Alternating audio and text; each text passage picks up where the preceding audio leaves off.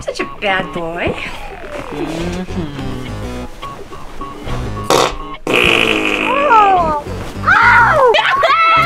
Dutch oven!